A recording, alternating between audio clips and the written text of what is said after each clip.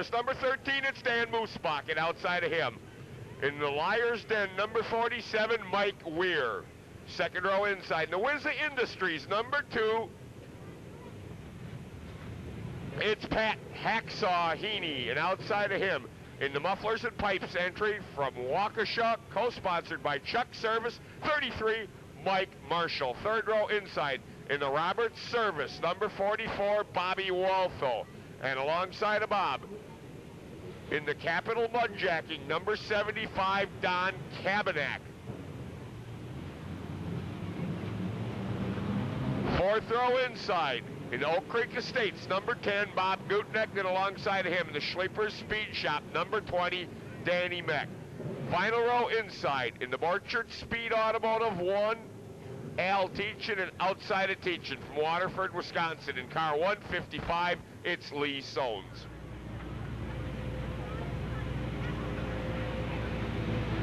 Mike Phelps giving us the one lap to go signal. Moose and Weir, two of the young lions on the sportsman circuit, occupy row number one.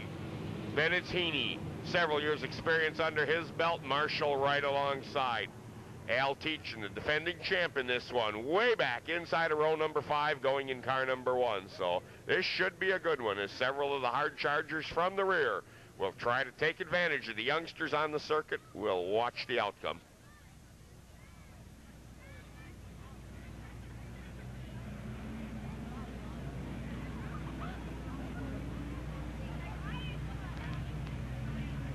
Danny Moosebach from Grafton on the pole as we're set to go green. Full fendered action on the Pro Star Sportsman Circuit, one of the finest in the nation, competing on the clay each and every Saturday night here at Hales.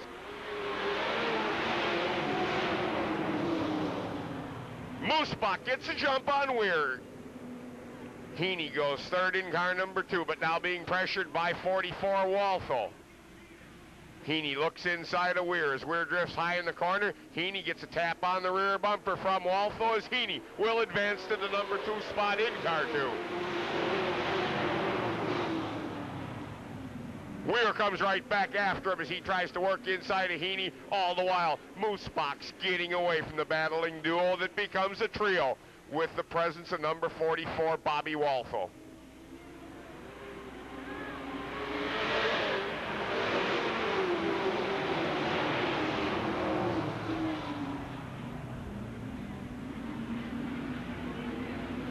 Walfel now works inside a Weir and puts him back to fourth as Walfel's on the move. He sets sail for Heaney's number two. Very smoothly out in front of the event is Danny Moosebach in car 13.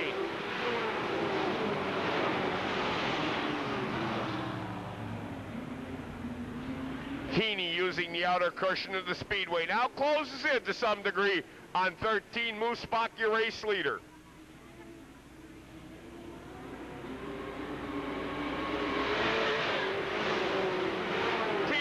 Car number after starting inside the last row, already advancing to the number five spot and has his sights set on Mike Weir's number 47. Once again, Bobby Walthall mounts a challenge to Heaney. In fact, Walthall will go to the number two spot as Moosebach makes a miscue. Two cars, Meck and Sones get together up in corner number three, and it's probably going to produce a yellow flag situation. Sones refires his automobile, but there's parts hanging down from the underside of Lee Sones' machine. I'm sure it's going to necessitate a lift truck. 13 Moosebach, your race leader at the halfway point, but does he have a bunch of hard chargers on his rear bumper? Bobby Walfo, as impressive as I've seen him ever here at the Hales Corner Speedway in car 44. He currently rides in the number two spot. Then it's Heaney, Teachin, Weir. They're all there. Set the goal at the halfway point.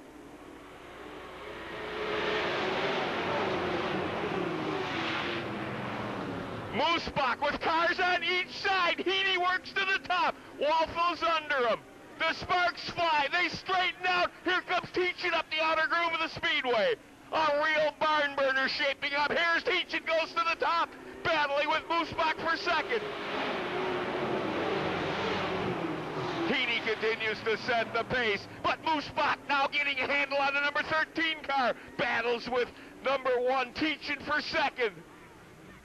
Heaney continuing to run high on the speedway. Moosbach thwarting Teachin's attempts as the laps wind down.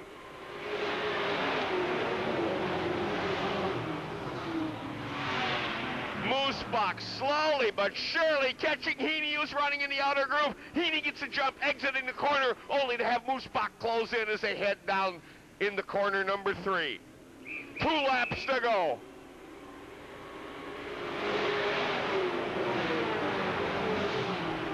Heaney still sets the pace, but now Teachin gets into Heaney big time, slowing Heaney. Heaney's automobile slowed, possibly Pat having a mechanical problem, and now it's the youngster versus the veteran. As Moosbach on the inner groove of the speedway and Teachin on the outside, new battle, only to see the event go yellow as Pat Heaney's automobile did in fact fail on the back chute. So one of the most competitive sportsman heat race events of the season comes to a halt with an obvious mechanical problem in Pat Heaney's number two. Pat has been plagued all season long with differential and axle problems. I wouldn't doubt once again Heaney's automobile let down in that department. 13, Dan Moosbach with two laps separating him from a checkered flag. Couple other people in the field wishing to rearrange his plans as one Teachin wastes no time going to work on the youngster from Grafton. Teachin turns up the wick on the Borchardt Speed Automotive machine. Teachin slides high in the corner. Moosbach masterfully on the bottom of the track holds the champ at bay. Teachin entering the corner much more under control this time, but once again, he and Moosbach do battle. Teachin with the power, obviously. Outgunning Moosbach on the chutes to have the youngster battle back in the corners. One, Teachin will win it. Moosbach will finish second, 44 Walfel third, and 10 Bobby Gutnick rounding out the top four. So a great ride by both the champion Al Teachin and the challenger Danny Moosbach, but whiskers prevailing is Teachin with his years and years of experience, 20 years in our book, winning the first sportsman heat of the evening. Al Teachin will roll down, pick up his checkered flag of victory from Edwitz Venus Ford aboard his Borchardt Speed Automotive Ratke Salt number one. Nice big round of applause. Al Teachin, he earned it. Accurate Fabrication and Welding and Coffee Trailer also helping Teachin along, as does Justice Brothers Automotive Products.